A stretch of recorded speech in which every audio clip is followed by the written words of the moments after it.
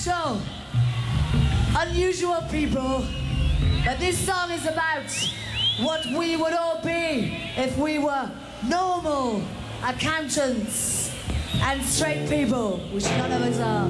This is called